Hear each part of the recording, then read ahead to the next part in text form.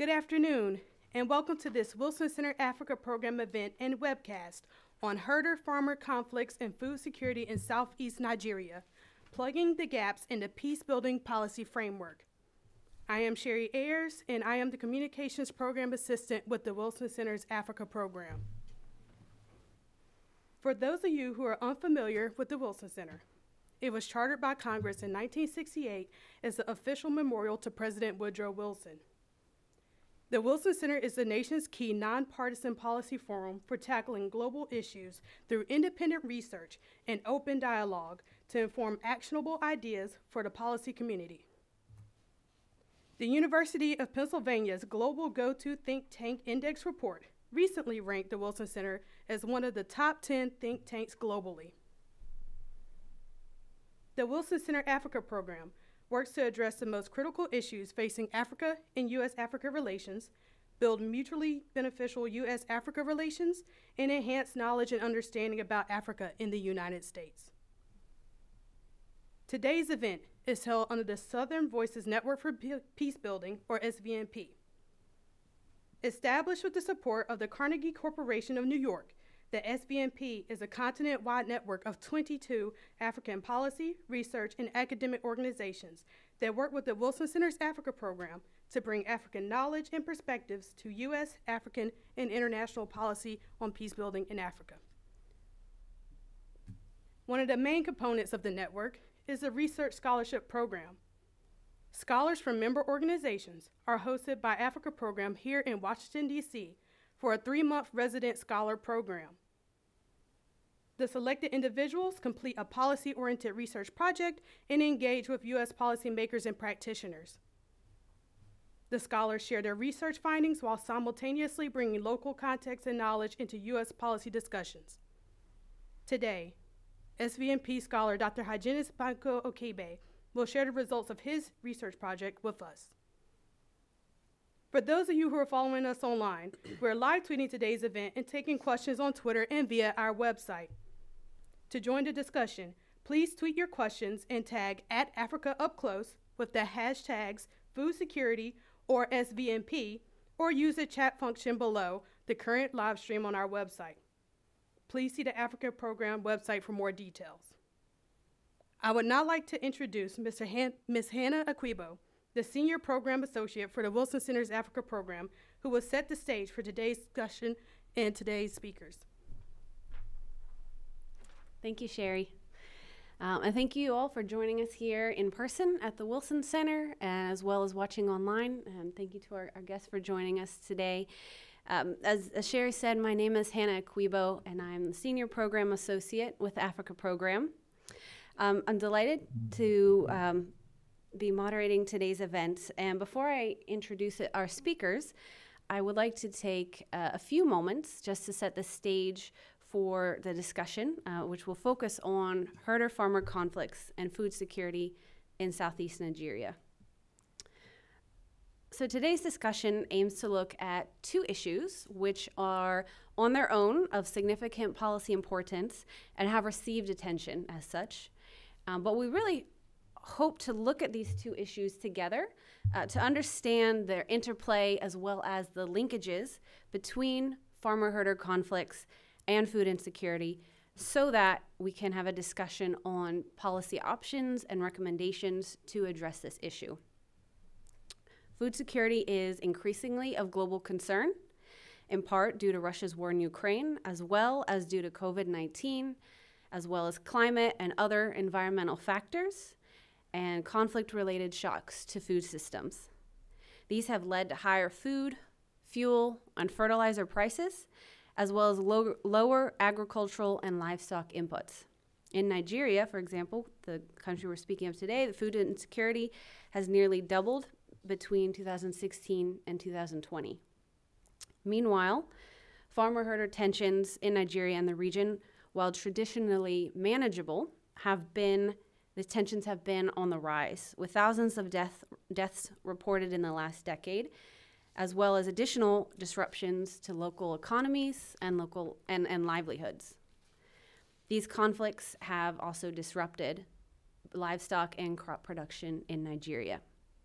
So, as we hear from today's speakers, they're going to situate the conflict in Nigeria's broader geopolitical context, as well as assess the state of food security and conflict, and provide their recommendations as well as lessons learned of what has worked or what could be improved upon. And I'm really looking forward to those analysis and recommendations. So, with that, I will introduce our guests. Their full bios are online as well as in the event handout um, that's available. And uh, so I'll just give the, a brief introduction. Our first speaker is Dr. Mark Duerksen. Dr. Duerksen is a research associate at the Africa Center for Strategic Studies.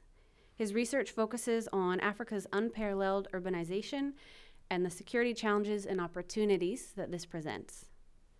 Dr. Duerksen closely follows Nigeria and brings deep knowledge of the underlying land, governance, social, and developmental dynamics driving current tensions and conflicts in and around the continent's cities.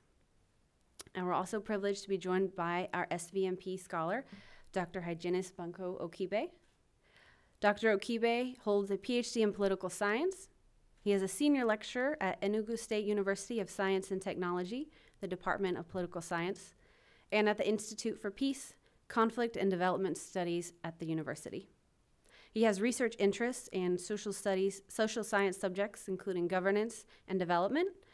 And currently, he is the director of work ethics at, at the university, the coordinator of a postgraduate program in the Department of Political Science, and he's the secretary of the Nigerian Political Science Association Southeast Zone.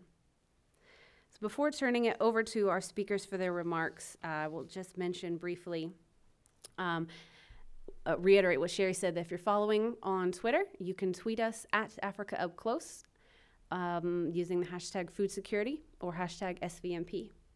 So with that, Dr. Duerksen, over to you. Thank you, Mrs. Akuiyibo, and good afternoon, everyone. Um, what, what I'll do is provide a brief overview of um, what's become an increasingly complex issue of farmer herder violence in Nigeria and West Africa more broadly. So I'll look at some of the recent trends, some of the key drivers, um, and some of the policy responses that can help mitigate this violence and help prevent it from becoming a larger driver of food insecurity in Nigeria and West Africa. So, as most people probably know in this room and online, um, Nigeria faces a number of serious internal security challenges from Boko Haram in the northeast to piracy in the Gulf of Guinea. Um, and here, highlighted in green, you can see um, farmer herder related violence and its geographic distribution across the country. So it affects a number of states um, in several different regions of the country, um, but it's primarily concentrated in the northwest um, the states of Zamfara, Katsina, Kaduna, and in the middle belt states um, above the southeast. There's also pockets in the southeast and southwest, um, which we're going to focus on today. Um, so here's another um, slide, just a little bit easier to see that distribution of farmer herder violence in Nigeria.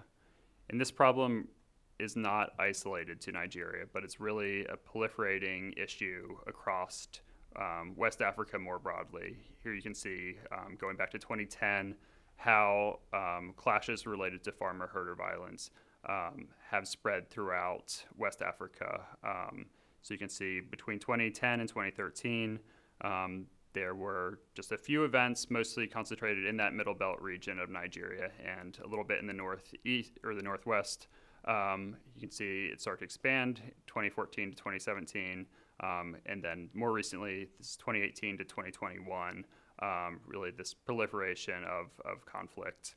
Um, and it affects not just Nigeria, um, but Mali, Burkina Faso, Niger, um, and as you can see, it's, it's moved farther southward in Nigeria. So in, this, in the southeast of Nigeria, though, the recent trend hasn't been so dramatic. So looking at 2018 to 2022, um, events have kind of varied um, between 17 events, violent events between farmers and herders, to 25, and kind of it's gone up and down throughout that time. Um, but the longer trend is clear. So, what is causing this dramatic shift over this previous decade? Um, and here, um, I think these two maps help us understand, um, just as a starting point, what's happening at a regional level um, and some of the dynamics at play. Um, so, really, over the last 10 years and going back farther, um, 50, 60 years, the population in West Africa has increased dramatically. Um, and this population growth has meant that acres of cropland, heads of cattle, have also increased to meet this growing demand for food. So, for example, in Nigeria, between 2010 and 2022, the country added over over 65 million people, um, and the number of cattle in the country increased from around 16 million to over now over 22 million. Um, similarly, cropland, as you can see here, highlighted in purple, um, increased significantly over this time span as well. Um, so what, what we have here is farmers and herders essentially competing for the same scarce resources. They're competing for um, fertile land and water.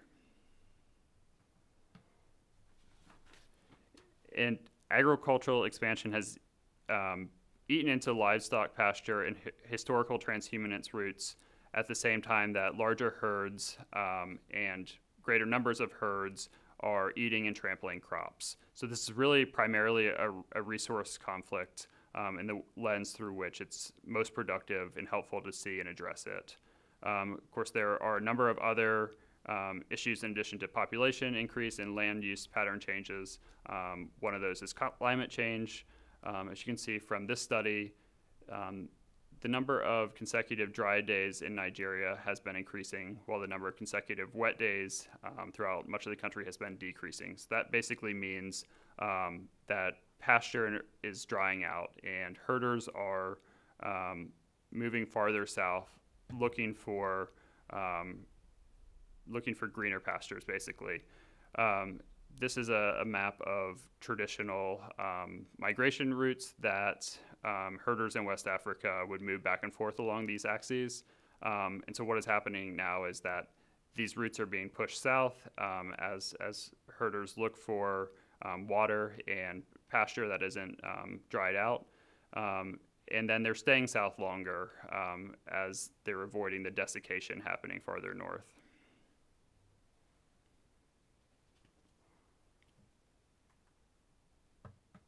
So there are also a number of other complicating factors that need to be considered to understand um, the local dynamics of farmer herder violence. Um, two that are particularly relevant to southeast Nigeria and to the south south region of Nigeria, um, and two, two issues that make it particularly combustible um, are the presence of armed criminal gangs um, and militant separatists in the region. Um, as you can see on this map, um, the um, separatist groups are highlighted in purple and the um, organized criminal gangs in blue and their activities um, are highlighted there. Um, and so, as, as many people who follow Nigeria are aware, criminal activity has really become a growth industry in the country. Kidnapping for ransom, um, robbery, um, or something that Nigerians are acutely aware um, is spreading um, in the country. And as people look to kind of these organizations as a way to um, make a livelihood, to make profit um, in a country where there's over 30% unemployment. So that's a separate issue, except for that it affects farmer herder conflict because oftentimes the targets of these criminal organizations are are herders' cattle. Um, they're particularly vulnerable to um, uh, kidnapping, cattle ransom, because they're exposed. Um, they're you know um, walking through pastures. They're in the the open fields, um, and oftentimes cattle is the most valuable resource in rural communities. So it's the target of these um, these robberies. Um, and as a result, um, many herders have begun to arm themselves to purchase firearms from the same criminal gangs that then, um, you know, provides them a, a, stream of income. And they've also organized into um, ethnic or communal militias to try and defend their, their livestock. Um, so this development makes farmer herder clashes more deadly um, and is contributing to this growing climate of suspicion and mistrust.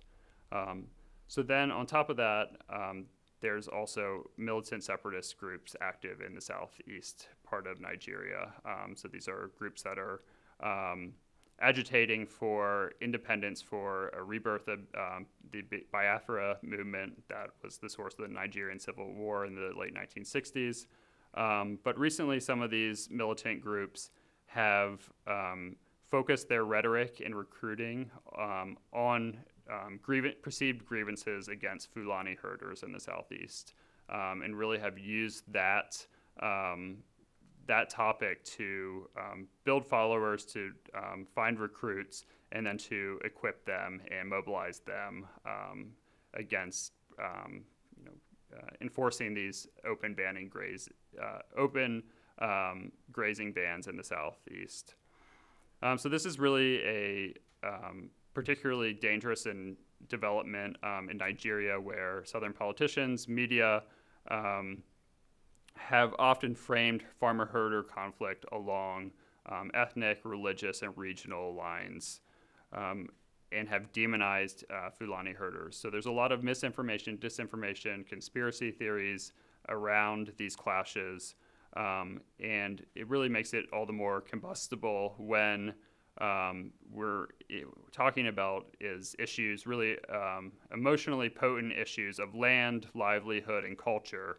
Um, and so, as we've seen elsewhere, farmer herder conflict can easily be um, inflamed and spread through this kind of hate speech and incitement um, against, um, you know, sharpening the issue along ethnic, ethnic or religious lines. So, what can be done about these problems? Um, in the short term, I think the focus needs to be on de-escalation, um, and here the um, the uh, incitement, the demonizing rhetoric really needs to be tamped down. Um, it needs to be monitored and removed from social media platforms where a lot of these separatist groups are active and recruiting. Um, and it should be prosecuted under Nigerian law um, when it's in the press or by politicians. Um, at the local level, community leaders should be trained um, in dispute resolution techniques um, and supported an effort to build bridges between farmers and herders. Um, and this is an area where um, the U.S. can help build capacity and help um, contribute expertise. Um, so, in areas where there is this really sustained concentration of farmer herder violence, like we saw on the heat map, some of those pockets in the southeast, once the, the conflict reaches a certain point, it's it's really imperative that there's a sustained federal um, and state security response, um, and that this response the response needs to be um, trusted um, and needs to be um, you know when people when some, when an incident is occurring, um, communities need to know that they can count on the police showing up, on security forces showing up, and stepping in to deter and diffuse the violence. And when that happens, that opens up a space for dialogue um, and these um, bridge building efforts um, to, to, to grow and have space. Um, of course, this is complicated in the, the southeast, um, where the separatist movements oftentimes the, the target of their um, their activities is security forces. Um, so there have been a number of attacks against um, police checkpoints, police stations in the southeast. So that needs to be sustaining a security presence is part of um, a broader effort to build, um, rebuild trust with um, communities in the southeast. And then finally, um, in the longer term, the, the big question is that needs to be addressed is Nigeria's investment in strategic thinking on land management policies and practice. Um, the friction between farmers and herders isn't going to go away. It's only going to scale up as Nigeria's population, um, you know, by some estimates, is projected to double um, by 2050. Um, so these these um, pressures are only going to intensify. A number of governors in southern Nigeria, um, if not all of them, have banned open grazing in recent years. And so this, this seems to be the direction that Nigeria is headed.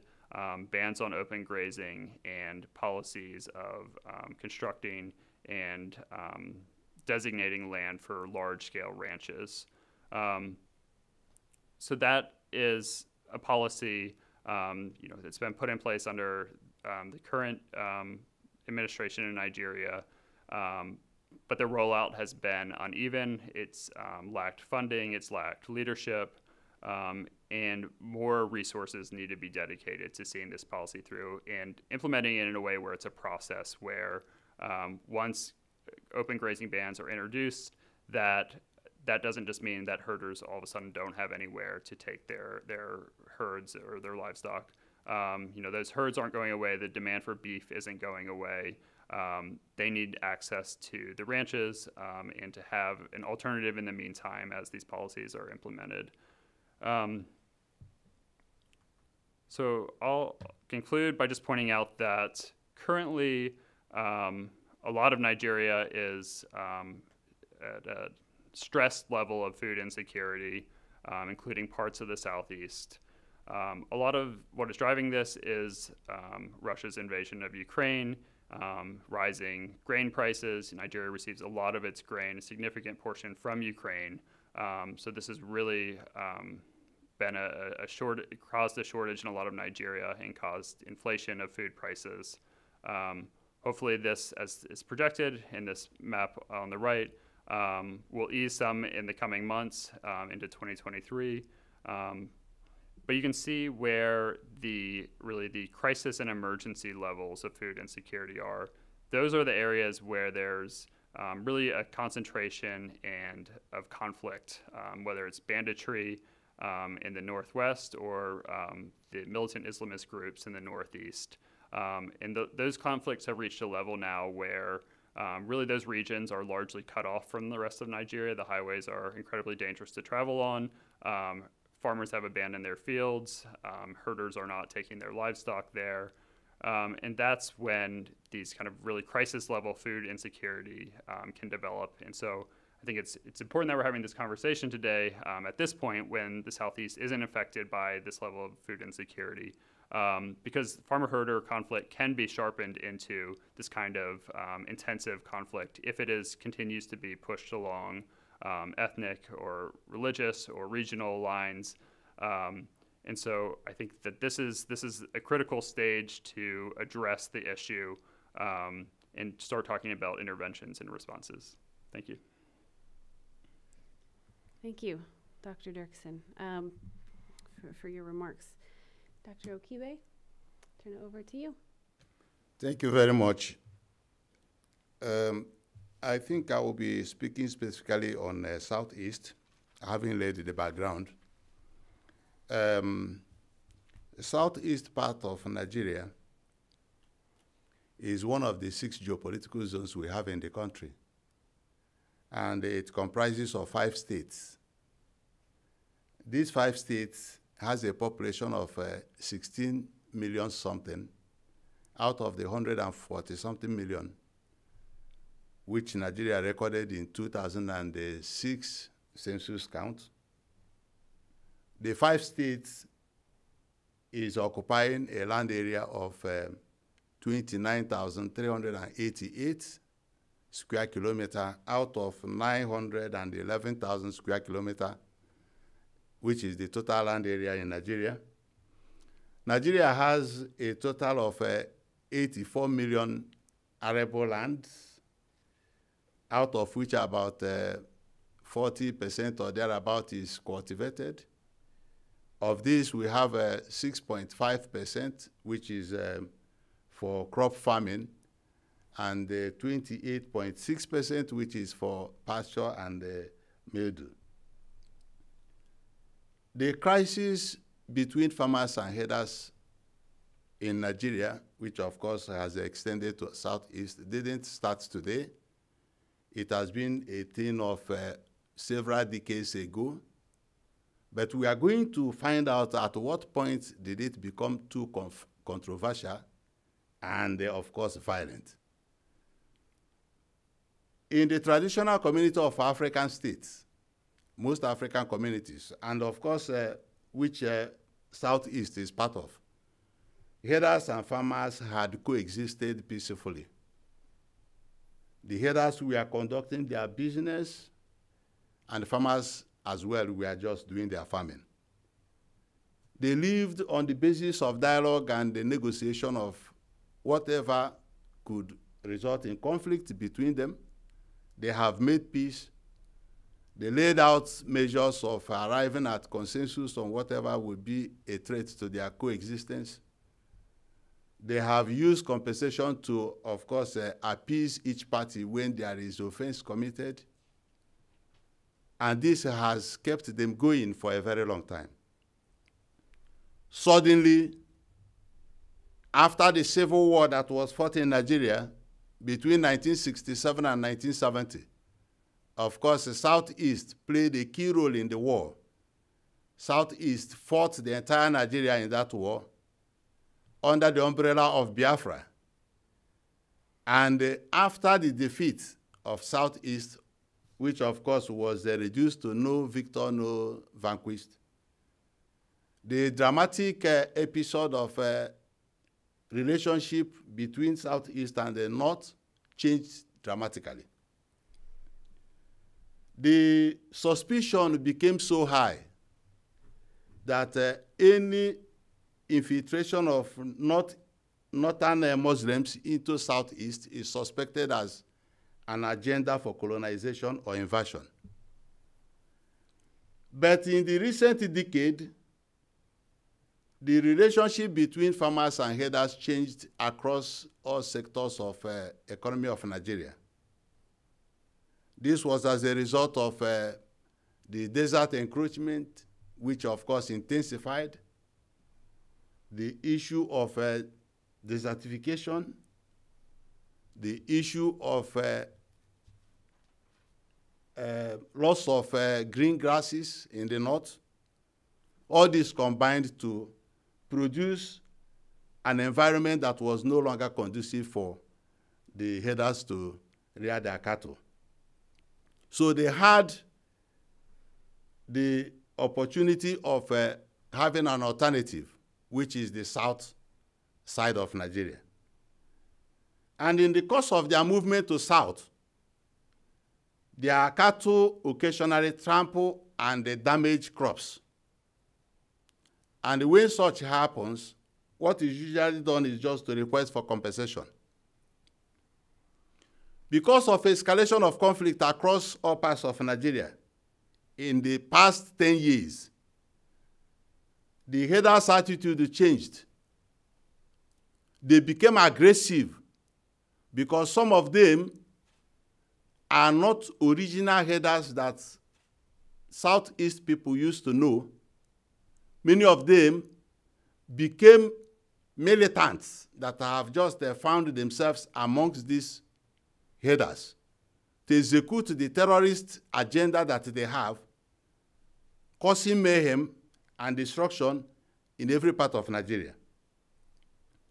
We recall that in the south, south, south, the herders conflict is pronounced there. In the southwest, it is also pronounced, but more pronounced in the north central, which is regarded as middle belt zone because there, that is where you have the capital of uh, crop production in Nigeria. In fact, it is regarded as the food basket of the country, the North Central. Now, because of the activities in North Central, every other, every other section in Nigeria became apprehensive of their coming. During the time of election of 2015, which President Muhammad Buhari contested, and of course, being a Fulani man, the Fulanis found his victory as a fertile ground to operate freely in Nigeria. Many of them that had stayed in other parts of the countries in West Africa and Central African Republic started migrating in drove to Nigeria there was no serious border check to know who is coming in and who is a legitimate immigrant to Nigeria. The border was so collapsed to a point that they gained free access and filled everywhere. So these militants who have become part of Boko Haram, some of them part of uh, bandits that are into all act of uh, violence now had a cause to transfer their violence to southern Nigeria. And uh, every part of southern Nigeria started agitating, of course, challenging the federal government that they should do something to tame the excesses of the headers. Nothing tangible was done.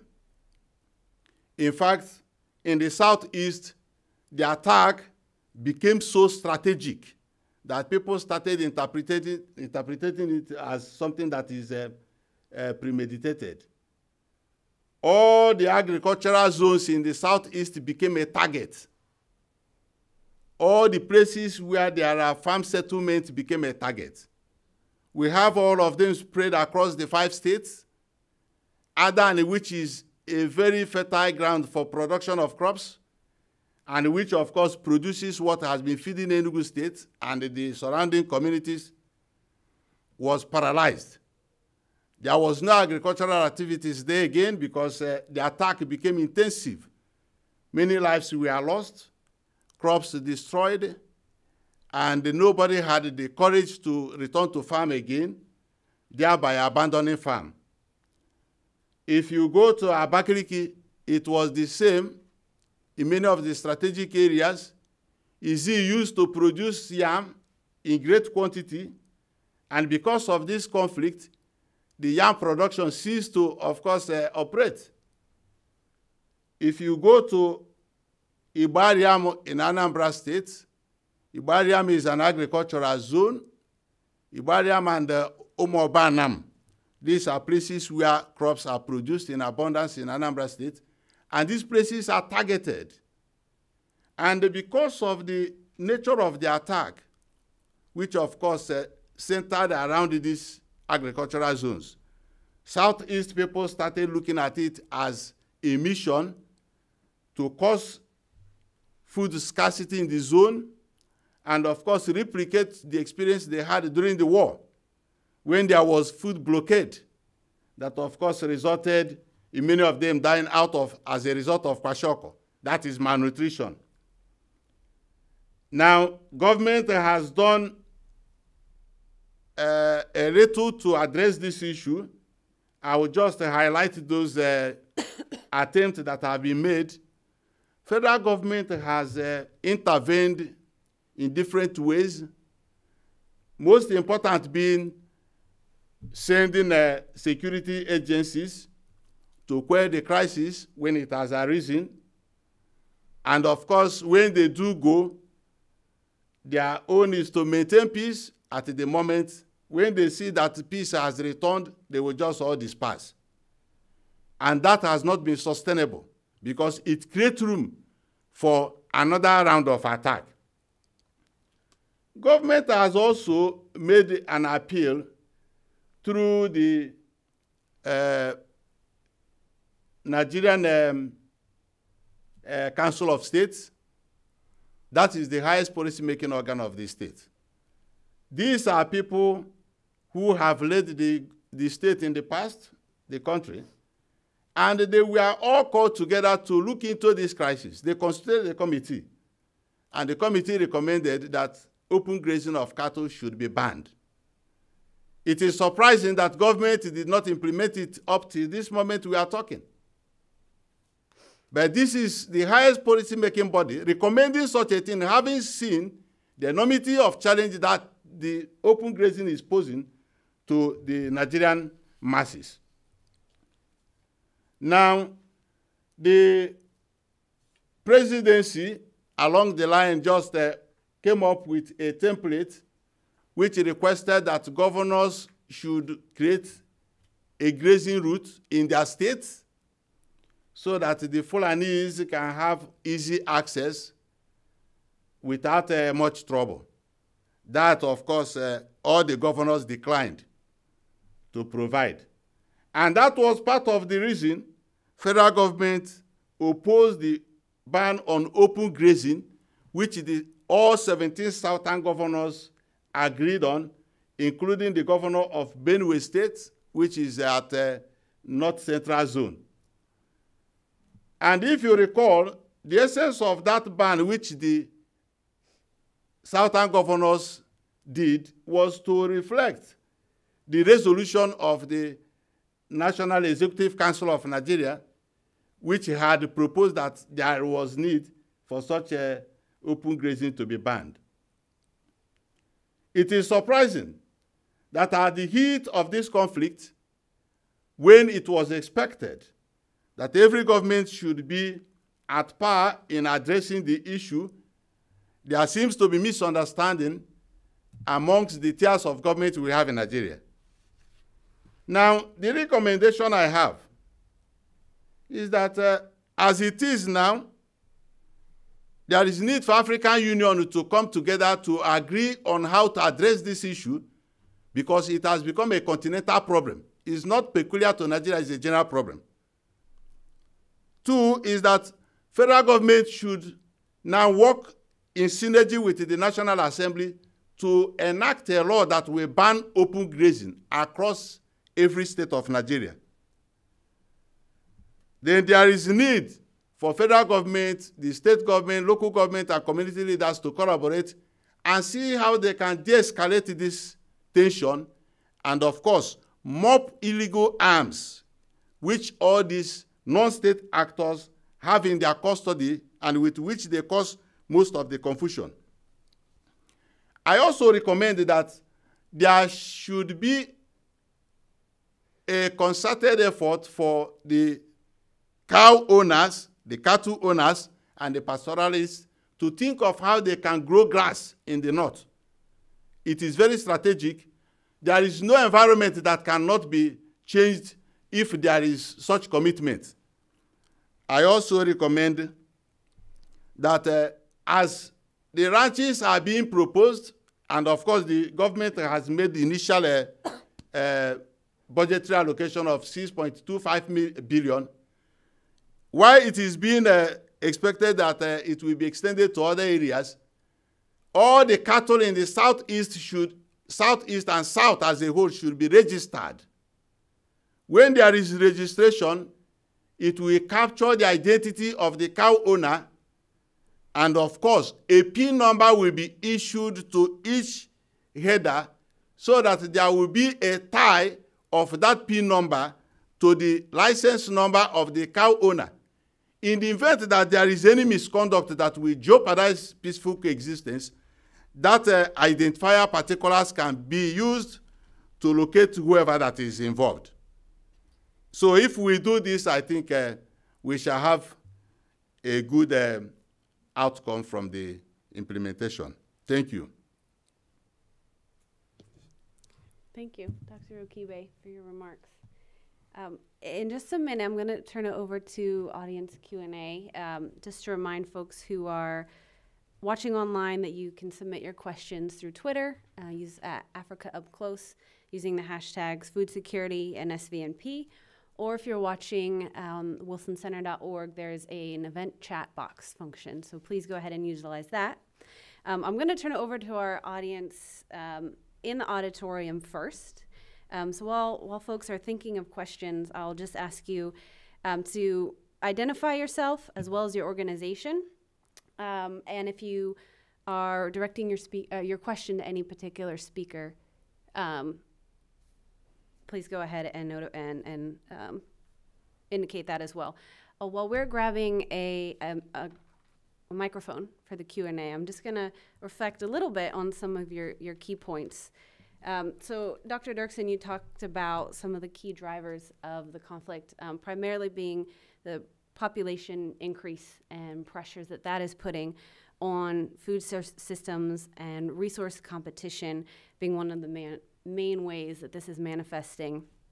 Um, you talked about some of the complicating factors, uh, both changing patterns of land use as well as climate and the climate effects and their impacts on land use in Nigeria. Other complicating factors that you mentioned were uh, the increase in gangs and militant separatists, and particularly um, the some of the, the violence being driven um, by economic economic drivers with un- unemployment in Nigeria and seeing it as a um, some some means of livelihood. Um, and you also mentioned that some of the, the key responses um, need to be in de escalation. You mentioned security responses, which is something also, Dr. Okibe, you mentioned, um, but particularly that they need to be trusted and also that they're there to deter violence. Uh, so I think those were two really important elements of that security response recommendation, um, as well as looking at land management policies. Um, and Dr. Okibe, I think some of the, the, the key points that really came out um, from, from your framing was um, setting the stage that these have been historically peaceful and manageable relationships in Nigeria, but also in the region. And that there have been traditional mechanisms and community level mechanisms for engaging in dialogue and negotiation for conflict resolution. Uh, but those have become weakened over the last decade. And you also highlighted some of the, the legacy, for, particularly for the Southeast region, some of the legacies of the Civil War. That is another complicating factor um, fueling mistrust between communities in Nigeria. Uh, you also highlighted climate impacts and desertification, which is um, reducing the loss, the reducing area for grazing areas. Um, and then you talked about some of your key um, recommendations, which I would like to get into a bit in the Q and A. But um, I think we have a microphone now, so I want to turn it over to, also to our audience. So please raise your hand. I will call on you. Um, first, Getachew. Yes. Thank you very much. Uh, first, I would like to appreciate the speakers uh, for presenting really informative uh, ideas and uh, issues. Uh, I have, uh, I'm, I'm Getachew from Ethiopia. Uh, I'm also a former SVNP Africa Program uh, scholar. Uh, my first question goes to uh, Dr. Mark.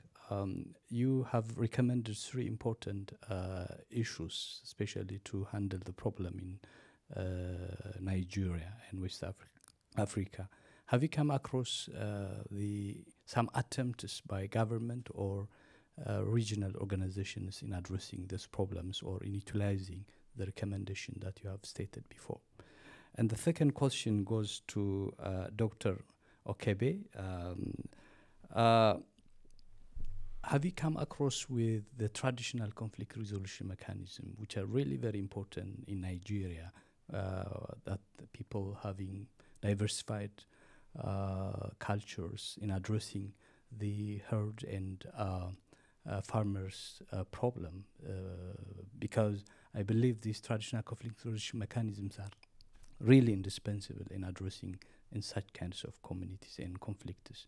I thank you very much indeed. Thank you. I'll take one more if there's another question from the audience. Dr. Florence. Oh, pardon me. Yes, this lady. Um, hello, uh, my name is Amanda Feldman. I'm from Search for Common Ground. Um, so the Biden administration has recently released their Africa strategy plan. And so I'm wondering if either of you could speak to the ways in which you think that the United States government um, can engage with this issue, um, especially given the the Biden administration's focus on climate change um, and climate resilience. Thank you. And Dr. Florence. Uh, thank you to the speakers for the insightful presentations. My name is uh, Florence Odur from Kenya. I'm a uh, SVNP a maize scholar. My question is to Dr. Okibe. Uh, you have mentioned that um, desertification and loss of grass are the main drivers of the the farmer uh, herder conflicts, and uh, in the, in the earlier presentation, we have seen that uh, population growth as well as increase in the um, number of livestock is uh, uh, exacerbating the situation. Uh, in the southeast that you have looked at, is this also an, a, a problem that could be bringing about the conflict? I didn't hear you mention that. And then another question still to you is that um, you informed us that uh, when President Buhari was um, inaugurated, and being a Fulani, so Fulanis found their way into Nigeria and into southeast Nigeria. And uh, because of their coming in, they got into militant groups as well as Boko Haram. And um, my question is could this be uh, a factor that is uh, uh, exacerbating conflict and not necessarily um, farmer harder? Because when militants and and, and uh, come in, then the situation then probably is different. The driver of the conflict may just be different. That's my question. Thank you. Thank you.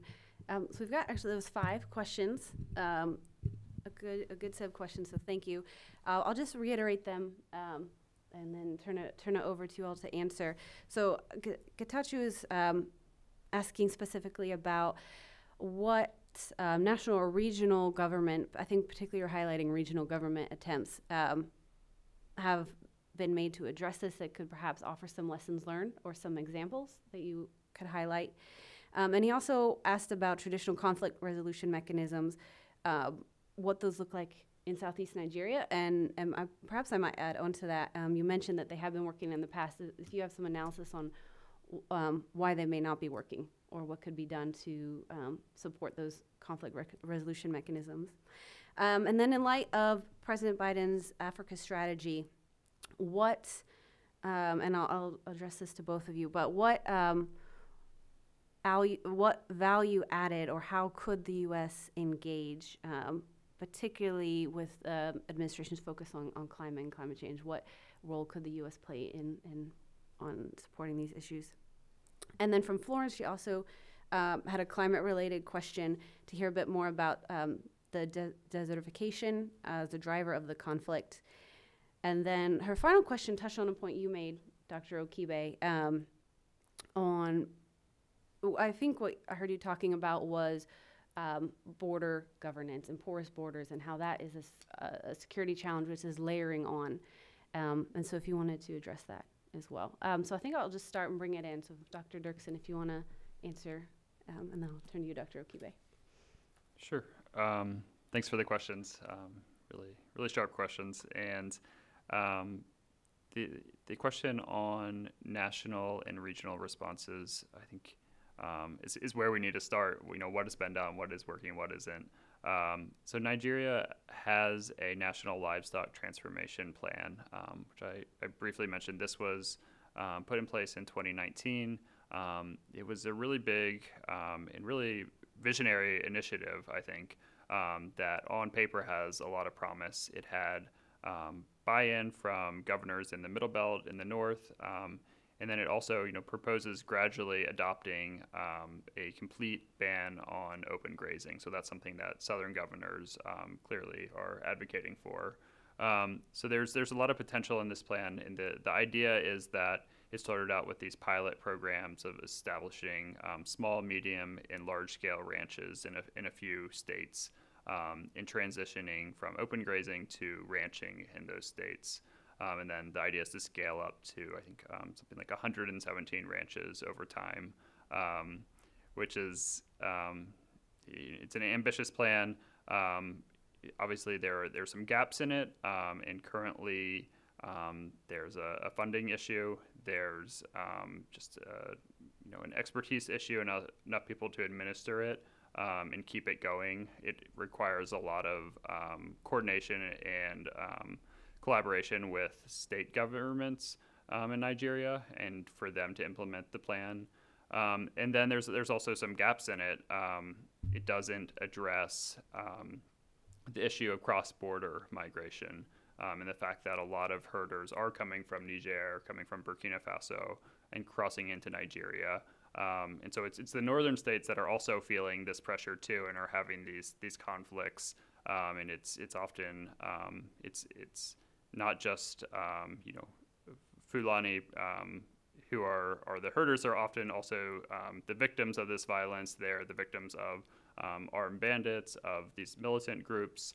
Um, so I think we have to be really careful there to um, not conflate kind of all herders with, with those groups, but recognize that especially in the north, they're oftentimes you know dealing with these same problems and looking for solutions as well. Um, so I think there is need for, for greater regional coordination. Um, I not aware of any initiatives um, to date. Um, it's not saying that there there aren't they aren't there, but that's going to be really, I think, uh, an important piece of the puzzle um, to address um, you know, the, the, fact that historically th- this has been um, a, a livelihood that is involved crossing borders, that is involved back and forth, um, seasonal seeking of, of pasture. Um, and so to suddenly transition away from that, um, there has to be some consideration of what happens to those people, what happens to those herds, um, how is that managed, what, what is their place in this future um, model of, of land management in Nigeria. Um, and then the, the question on um, the U.S. Africa strategy, the new the new Africa strategy, and its its uh, important focus on climate change in Africa um, as really a strategic issue and an issue. Um, you know, Africa is is the continent that um, contributes the least carbon in in the world, um, but is feeling some of the most severe effects of climate change from the desiccation I was mentioning in Nigeria to you know just in the news recently I've been reading about um, the flooding in Niger and Sudan, um, and in Burkina Faso and Chad. Um, so it's really this erratic um, patterns of climate that I was highlighting with the, you know, these number of consecutive dry days um, going up and these unpredictable weather patterns. Um, so, so how do we address that? Really, and how, how can the U.S. support addressing that? it's, it's, a, it's a challenging issue because um, you know, there's a, there's a um, focus on resilience and adaptation. Um, a lot of these communities are kind of um, tapped out when it comes to how much they can adapt. You know, their adaptation is to move further south or to look for for um, pasture somewhere else, and then that's leading to these conflicts. Um, so I think there one one of the ways you know solutions can be sought is there there is a, a research gap. Um, trying to understand some of these new weather patterns, having the data. There's um, gaps in the monitoring in Nigeria, in um, Africa more generally, of weather patterns, of changing climate, of uh, changing temperatures.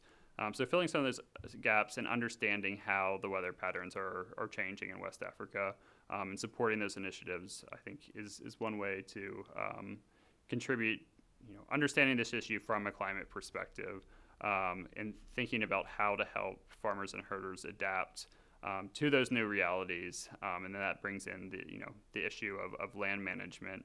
Um, and if you know part of the adaptation is that a different part of the country is now becoming more of the um, the space where herders need to go because that's where there is um, arable land where they can graze their cattle.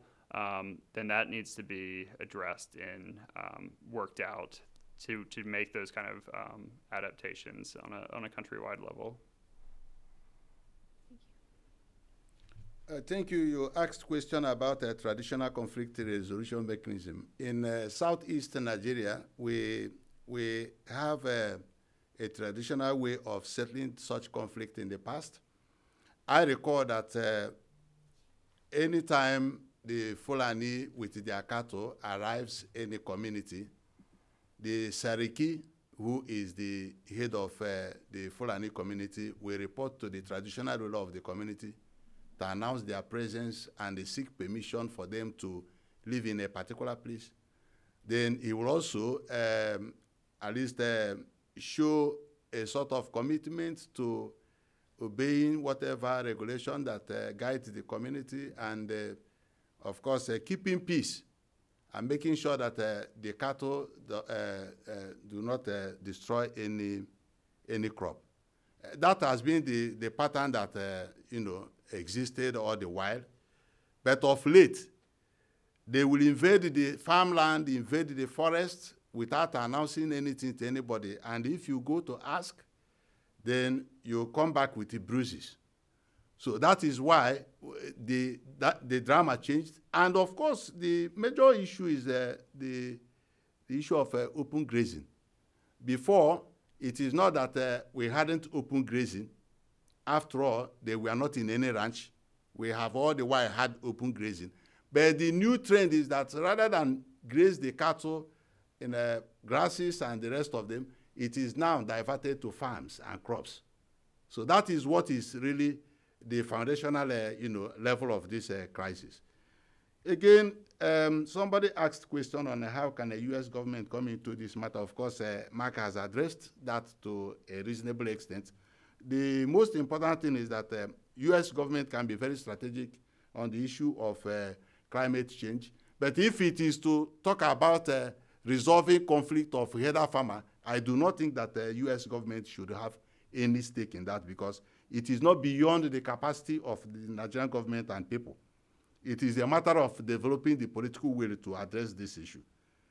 Now, um, you asked about the desertification and of course uh, population, whether they have any role to play.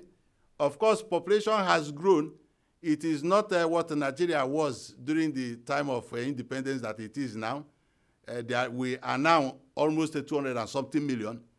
And I told you about uh, the land uh, area of Southeast comprising five states, which is 29,388 square kilometers. You can imagine such a small, uh, small land area, which is occupied by five states. And these states are populous. I told you the population of the in population of uh, those that are living inside, not those that are outside. So it is a factor in the conflict. But uh, of course, what is uh, mentioned that is very strategic also is the issue of uh, this secessionist movement. Okay? You really can distinguish between the battle now, between headers and farmers, and uh, the headers and this uh, secessionist movement, especially the Eastern Security Network. There is a mix of uh, this conflict now.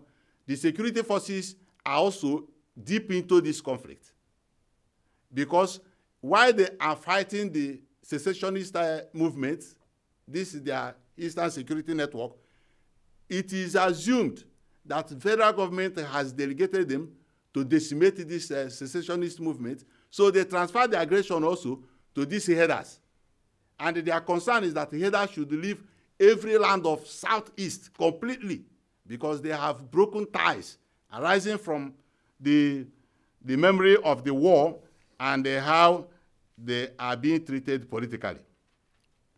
Now, on the issue of Buhari's government and the, the level of impact it has brought to bear on this header-farmer relationship and the conflict, uh, the fact is that uh, it is not that we have not had this conflict before, but we look at the magnitude now.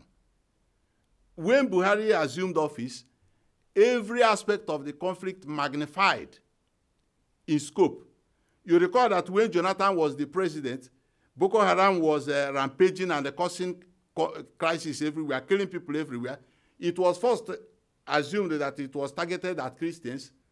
And when all the Christians ran away from the north as the initial measure to safeguard their lives, then they found no Christians again. They started attacking northerners. That was when people knew that Boko Haram was out for something else. Now, these headers, it is not that it is Christian Muslim issue. These headers are as, well attacking people in the north. They are destroying things in the north. But the kind of peculiar situation in the southeast arising from the war, the experience of the war, that any northern are coming to dominate affairs of southeast or to occupy the forest, the farmland, that the intent must be investigated. And that is why they get worried, because they are no longer reporting to, of course, uh, pledge their loyalty. They are no longer reporting to accept responsibility for any destruction of property. They are no longer, lo longer reporting for anything else. Nobody knows when they come in. They just settle anywhere and they become a threat to all the environment. Of course, this crisis has caused a whole lot of uh, you know, issue in terms of uh, crop production. Farmers no longer go to farm, and you know the implication of that crops are no longer produced. There are no food stuff again. The little one that is available, people compete, with, uh, compete to get them. And of course, there is no money. So these are the issues. That is why Southeast is today just, uh, you know, suffering hunger. And of course, nobody is coming to their rescue. So we must do something about this.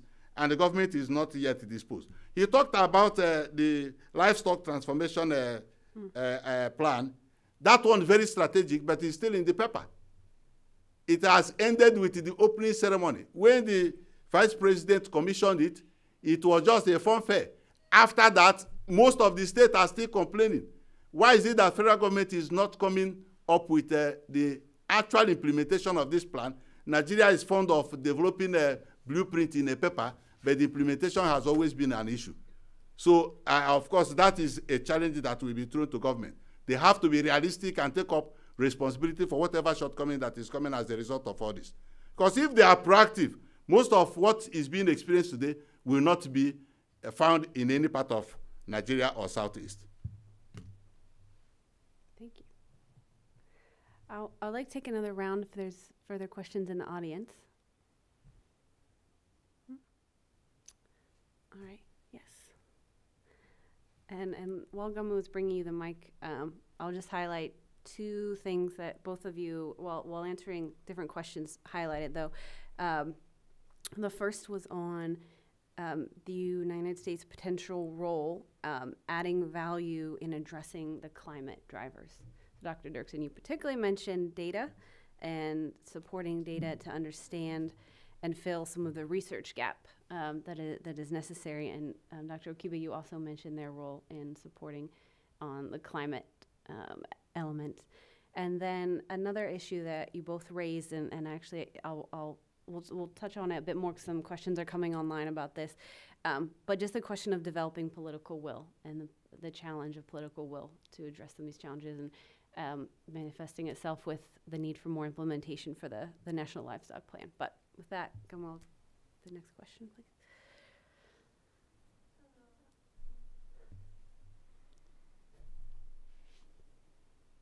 Hi, um, thank you all so much. Uh, this is super interesting and informative. Um, my name is Holly. I'm working at USAID this summer in between years of uh, Master's in Public Policy at Harvard Kennedy School.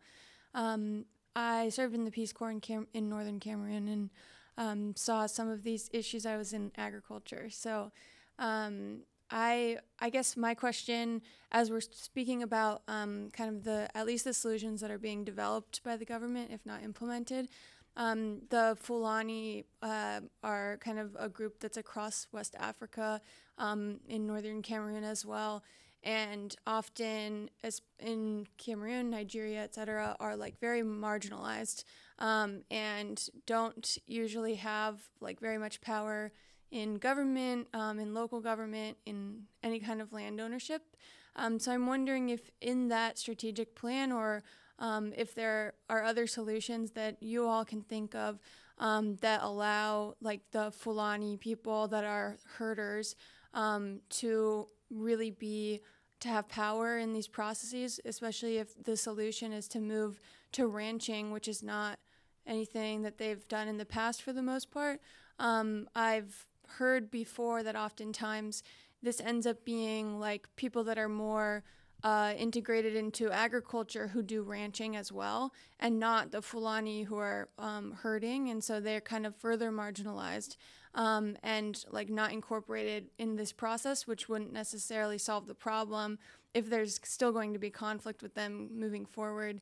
Um, and um, I guess uh, the end of that question is um, what ways are there to sort of incorporate them into this process um, and make sure that they have livelihoods moving forward, especially when um, they're often becoming radicalized in part because of this marginalization um, and that leading to um, like participation in some violent extremist organizations.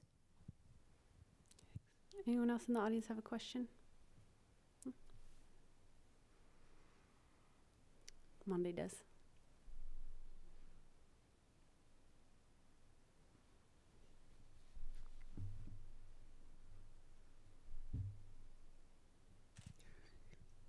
Monde Muyangwa with the Wilson Center's Africa program. Um, Dr. Okibe, you mentioned something, and perhaps uh, Dr. Duerksen could also speak to this. Uh, but you, you talked about how uh, this issue is an Africa wide uh, problem. And you can leave this question to the end if people want to focus more on Nigeria. But it led me to thinking about you said the AU ought to do something about it. I think two points. First, I have always felt that uh, the, the African Union's mechanism for addressing conflict is one, more focused on what you do about conflict once it has broken out and not on the preventative side of things. And so, how do we shift that balance, which would uh, enable us to then deal with this issue on the preventative side? And secondly, that the African Union and the international community, in terms of framework for addressing conflict and tensions, it's probably much stronger uh, when you look at politically driven and motivated conflict. What we are talking about here is um, what I see as a huge issue for the continent in, in years to come that is land and water um, driven uh, conflicts, which tie back to the question of uh, climate change as we were talking about. This is going to be a key conflict area uh, on, on the continent. And so, my question to you is as you look at these questions, are you aware of any good examples from Africa or elsewhere in terms of good land and water management uh, that could perhaps be applied uh, to a situation like this or that we could learn from? I will reverse the order. Dr. Okibe, I'll, I'll turn it over to you first and then um, down to Dr. Mark.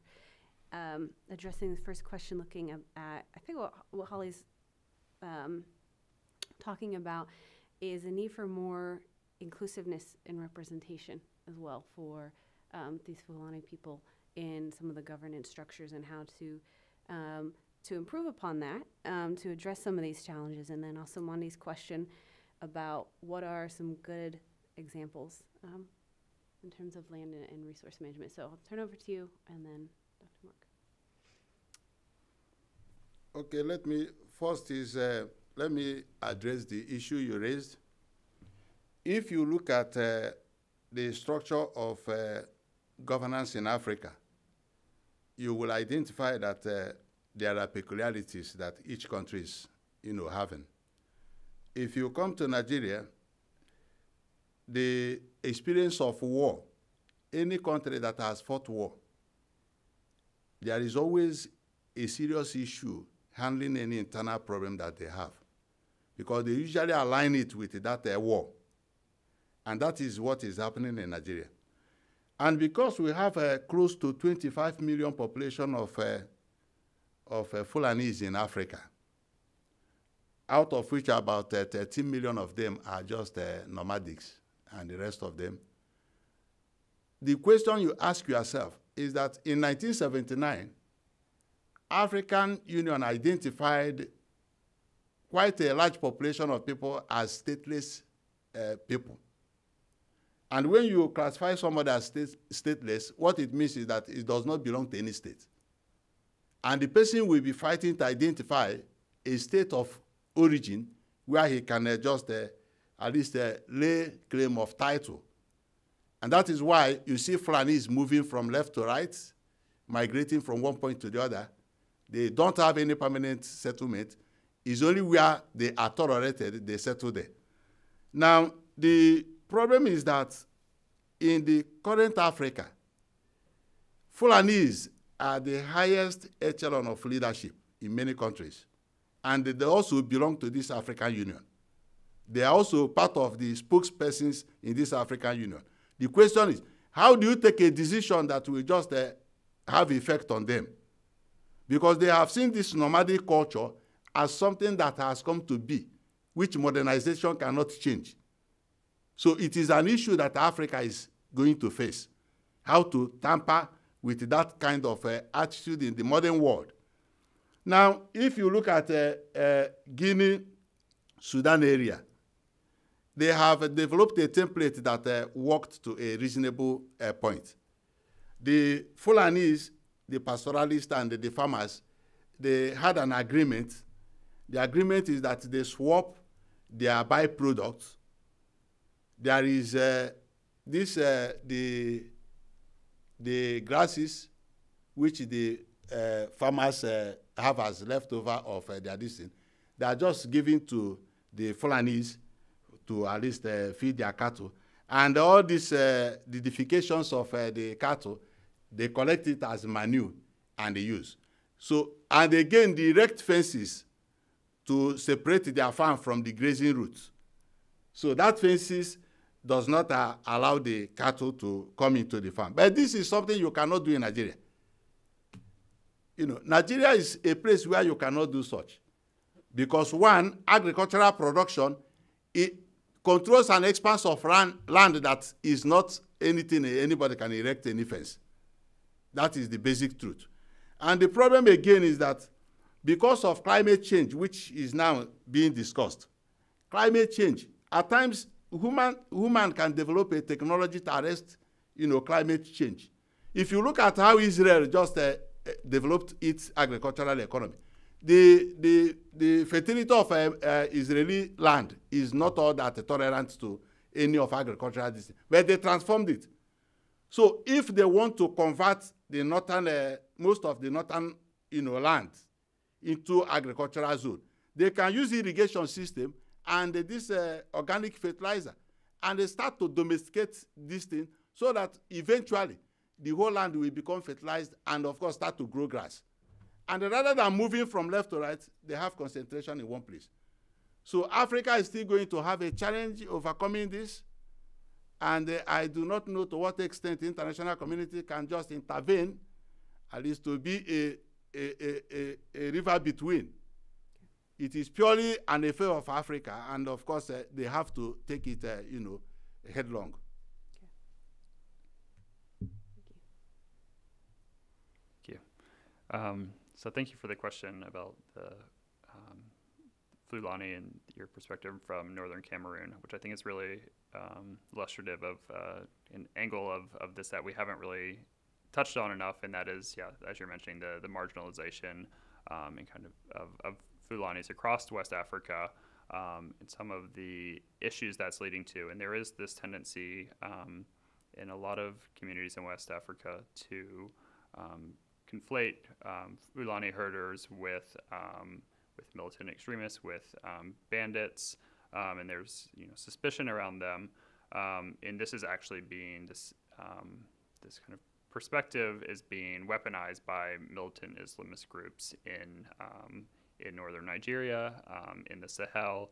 Um, who are recruiting from these nomadic populations who do feel um, marginalized, dispossessed of their, their grazing lands, um, you know, this is um, this pressure is being felt. Um, we recently at the Africa Center did some research on um, northern Benin, and it's the same dynamics there, um, where um, herders and local communities that have coexisted and worked their problems out through these uh, peacekeeping mechanisms.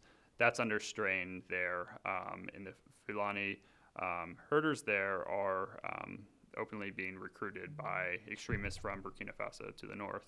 Um, and so, you know, part of this is that being nomadic, being um, pastoralist, um, Fulani are often not in um, local government areas when decisions are made. They'll come back the next season, and, and um, things have been changed. Um, there's a new law in place. There's a ban on open grazing. so that's that's a challenge to um, these kind of um, uh, policies, these um, this livestock transformation policy or, or plan. Um, is how are they included in, in these processes? And that's been a big flaw of it so far. Is that um, a lot of the herders, their perception is that these ranches are being, when they are actually set up, they're being given to local agriculturalists who are looking to expand into um, cattle rearing.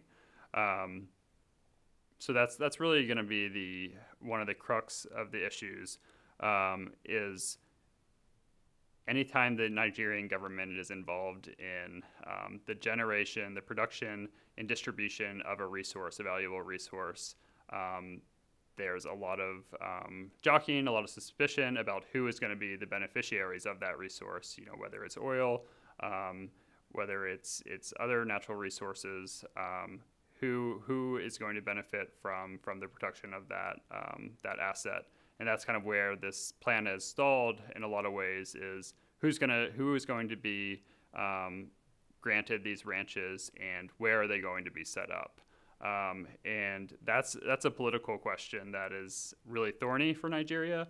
Um, but I, I, was here um, a couple of years ago with former Nigerian President um, Obasanjo, Um, know, he was the the conversation was about managing Nigeria's ethnic diversity, and he spoke really eloquently about not seeing kind of Nigeria as this um, being torn apart by these different, um, you know, great diversity of languages and religions and ethnicities, but really seeing that as um, a strength for the country and something that Nigeria, um, through a change of outset, can really look on drawing on that as kind of this this strong patchwork of different perspectives, different skills, um, different livelihoods to build a stronger country, a stronger um, economy.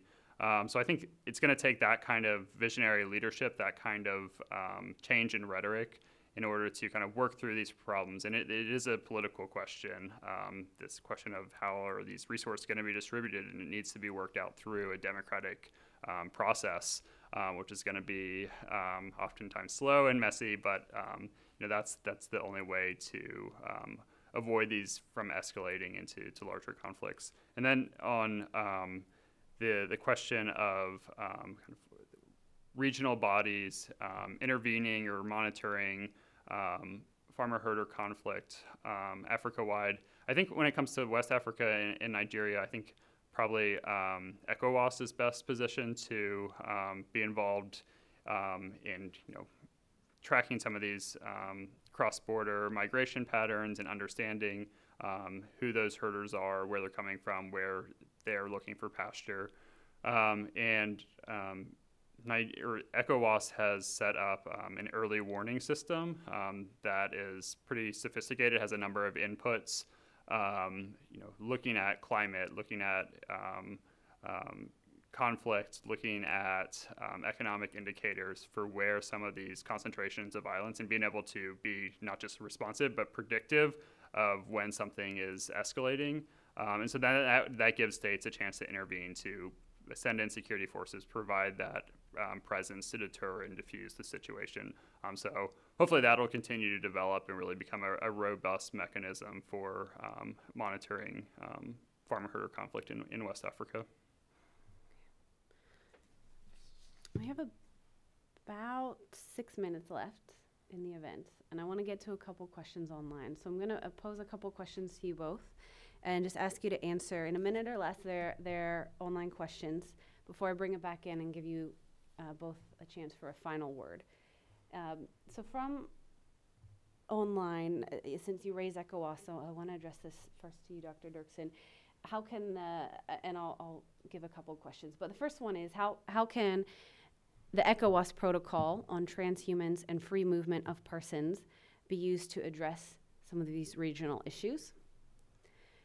And then a second question is on the role of youth. So, could you talk about the potential role of youth in peace building processes in Nigeria? And related to that, the um, potential for the National Youth Service Scheme to be utilized to support peace building and rebuilding trust and community relations. And then the third question is uh, back to the U.S. government and how can the United States government assist in strategically supporting the Nigerian community, specifically, though, focus on um, restoring food security in Nigeria and surrounding nations? So, those three questions. I will, um, again, I'll start with you, Dr. Okibe, then you, Dr. Duerksen. So in, in a minute or less for, for each one. So we've got about five minutes, so that math doesn't quite add up. But briefly respond to those three questions and then we'll bring it back in.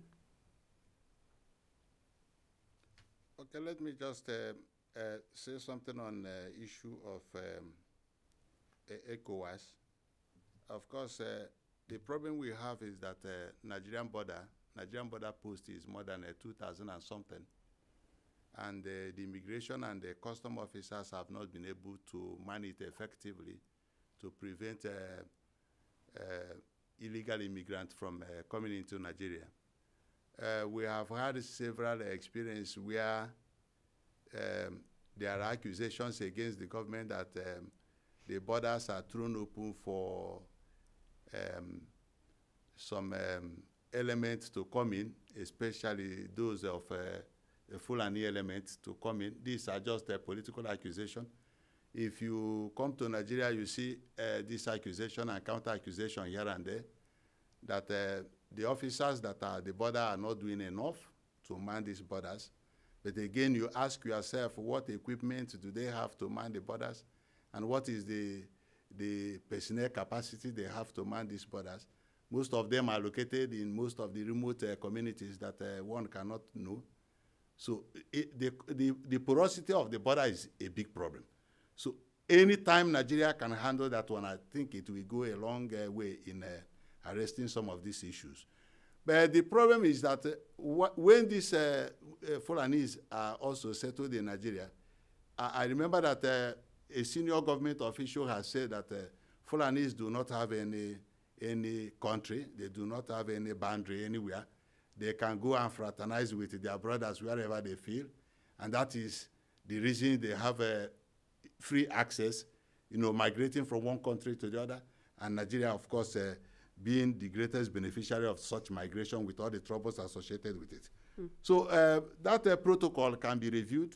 Of course, that protocol is very strategic and it has some strength attached to it because it does not allow somebody who does not have valid uh, ECOWAS passport to move to any country that is a, a, member of ECOWAS. But most of these people do not have a valid ECOWAS passport, and that is why even in my recommendation I say that Government should identify and deport all those that do not have legal documents to live in Nigeria. Because that is a qualifying uh, you know, criteria for somebody to migrate to Nigeria. So ECOWAS can review that and see to what extent it is uh, strong to restrict uh, careless movement of people across the border. If it is not, they can introduce a, a more strict uh, measure to ensure that uh, anybody who is moving from one country to the other uh, produces a requisite uh, document that will just uh, permit his uh, admission in that country. Now, you, you talked about the role of youth in um, conflict uh, mitigation or prevention and whatever. The, the, the problem is that there are classes of conflicts, and you treat each conflict according to its own dynamics. If it is uh, ordinary conflict, it is easier for youth to handle. But this very conflict has become a serious issue where even the youth are instruments for prosecution of the conflict. The, the Igbo youth, under the umbrella of uh, Eastern Security Network, you know, even surpassing that, are waging war, a sort of war, against uh, the Fulani invasion of the, the zone so there is nothing. Government has done everything humanly possible to ensure that the arrest the involvement of the youth in this matter, but it has not even given any uh, positive result.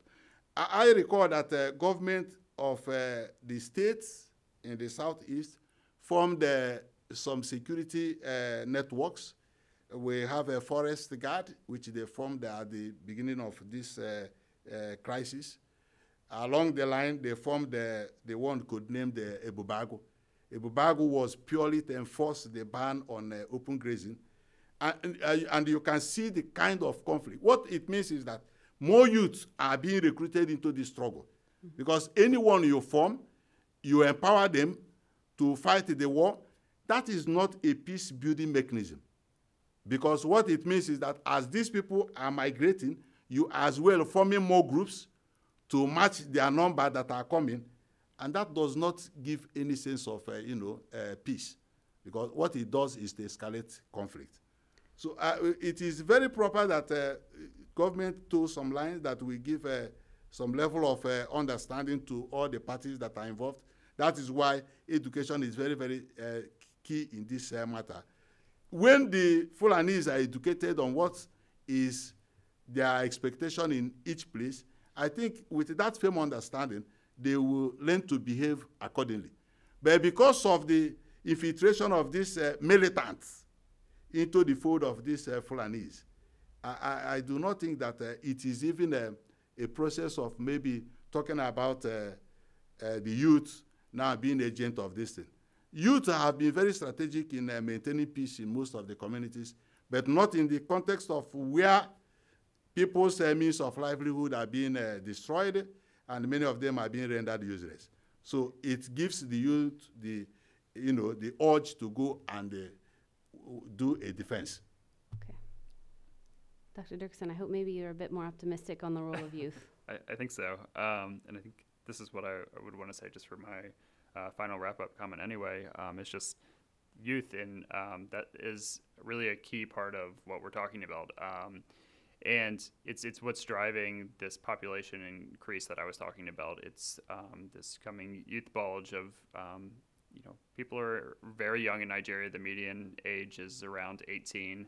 Um, so these are tens of millions of young people who are looking for livelihood, who are looking for food security, who are looking for um, shelter, who are looking for um, you know a, a, place to call home in a nation to um, call their own.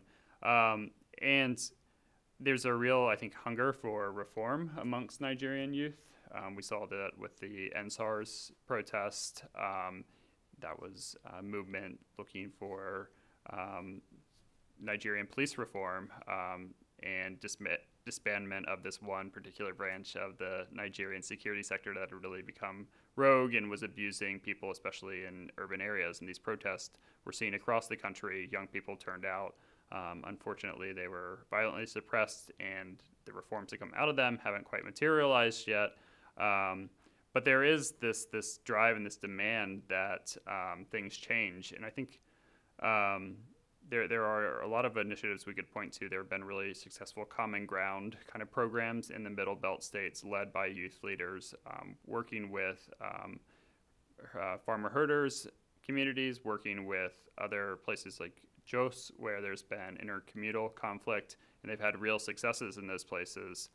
Um, and so I think that the the younger generation in the southeast, my um, perception is they don't necessarily see um, these trends and these conflicts through the same lenses as the previous generation. They might not necessarily see it through the lens of the Nigerian Civil War. For them, that's that's ancient history.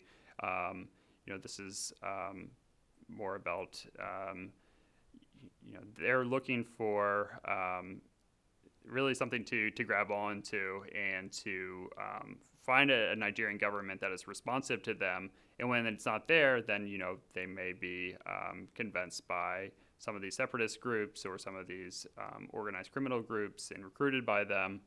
Um, but I think that if if you know West Africa, Nigeria is going to face this continued this population pressure. Um, it's it's talked about a lot of times in terms of you know this uh, youth bulge or this you know explosion, and it's just going to be this unmanageable population increase. Um, but I think it, there's also just a lot of um, potential there, a lot of hope. There's just this new generation of young people who are looking for reform, looking for democratic processes to work for them, um, and so it's just a matter of um, leveraging that energy um, and those new ideas, those fresh ways of thinking. Um, Nigeria has a chance to do that now with this upcoming election next year. Um, so we'll see if there are um, you know, politicians who um, propose policies, propose new um, visions for the country that the youth are receptive to, because it is going to take really a, a, new way of thinking as these old systems come under stress and as these frictions come up.